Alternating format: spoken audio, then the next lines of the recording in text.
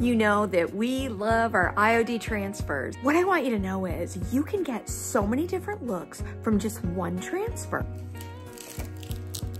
This is new from the IOD spring release. Today I'm gonna take you on a little journey and I'm creating all of these risers to show you how Joie de Roses can get so many different looks just from one transfer on different paint colors.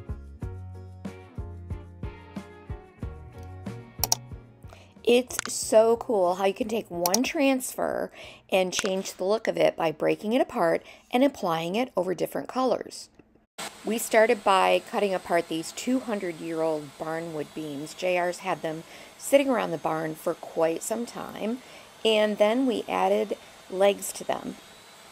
We used old candle cups and I stained them with Debbie's DIY Dark and Decrepit Liquid Patina.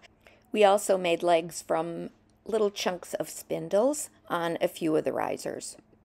I'll be giving each of these a few coats of paint with Fusion Mineral Paint.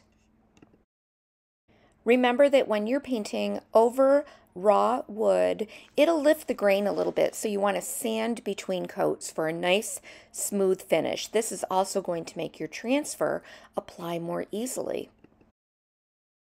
I asked myself, what if I put this transfer over this color or that color? And I tried to select a variety of colors so that I could see what different effects I would get with the Joie de Roses transfer.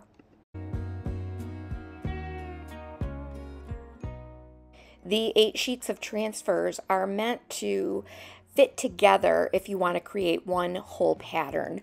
But I'm not going to do that since I'm cutting apart the transfer into smaller pieces. Later on, you'll see that I'm going to have to piece quite a few of these to make them work on each of the risers.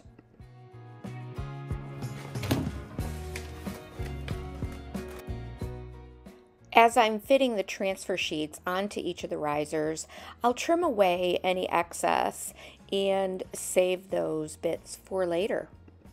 You can also distress the transfers with a bit of worn sandpaper. On this piece, I wanted to make sure that I'm measuring to get the center because I'm using that little emblem and I'll need to match up the other side accordingly. You can see here where I'm trimming away the excess with an X-Acto knife right along the edge of the board.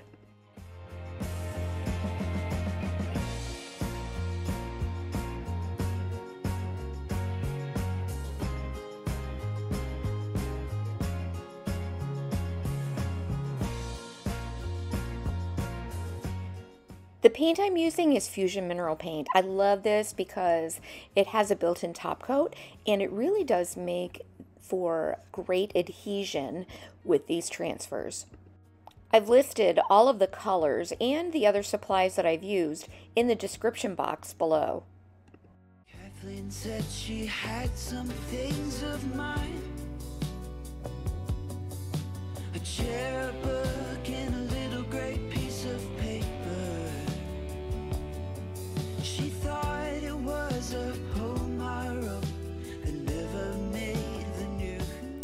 After you have applied the transfer, burnish it with one of the backing sheets. Just rub that over the surface so that you make sure that you've got complete adhesion.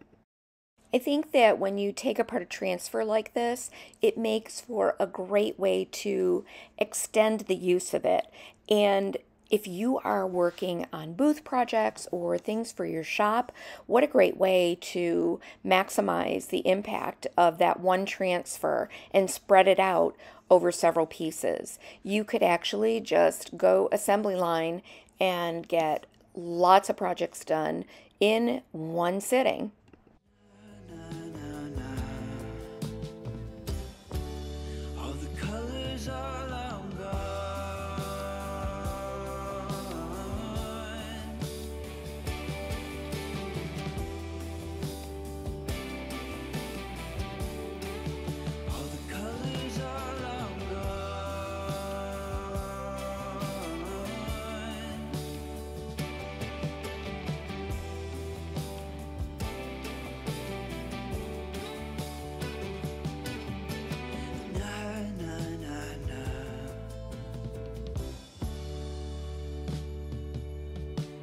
something, said she had some things of mine. A chair, a book, a little grey piece of paper.